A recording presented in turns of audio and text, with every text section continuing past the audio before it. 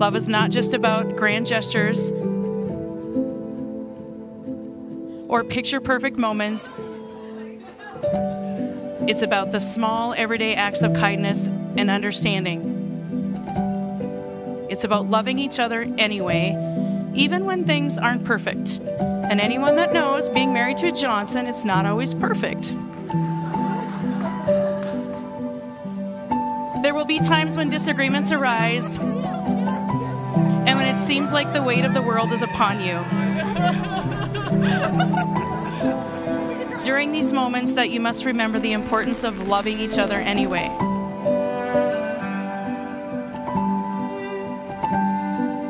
And remember that as love is just not a feeling, but a choice. A choice to stand by each other's side, to support each other through thick and thin, and to never give up on each other no matter what.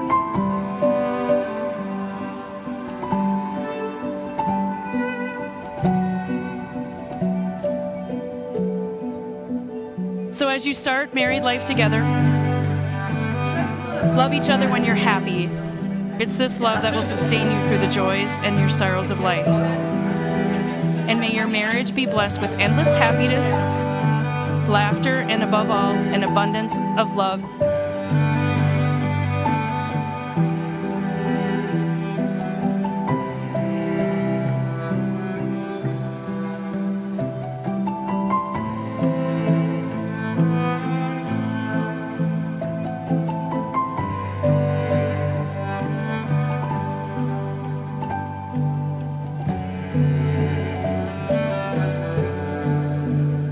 Kenzie, you're simply the best. You are my best friend, and I've been so excited for this day. I've been waiting my whole life to be a part of all of this. Being Kenzie's sister has been one of the greatest privileges of my life. I realize just how many memories of adventures, triumphs, and even hard times that I've had with you. Kenzie is a girl who is smart, funny, curious, beautiful, and witty. But my favorite thing about Kenzie is her heart and the way she loves and cares for everyone she encounters. The kids you were 10 years ago would be so excited and so proud of y'all. They went on their first date back when they were 16, went to proms together, graduated high school together, then started their lives as young adults. Now, 10 years later,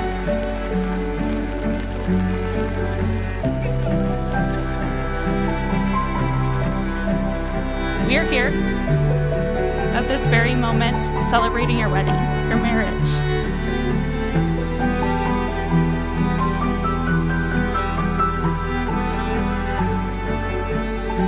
Wyatt, you are the best for Kenzie.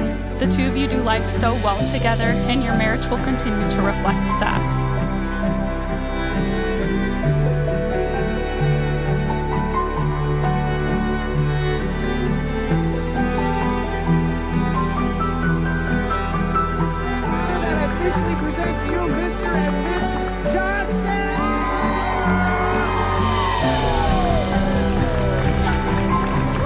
Is the best and hardest thing he will do, and it will come with highs and lows.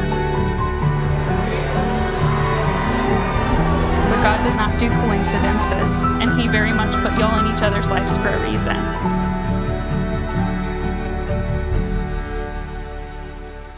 I wish you all the absolute best in this next chapter of your relationship.